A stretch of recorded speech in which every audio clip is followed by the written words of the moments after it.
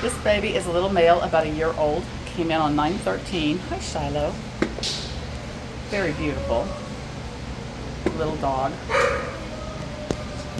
This pretty baby is located at Animal Care Services in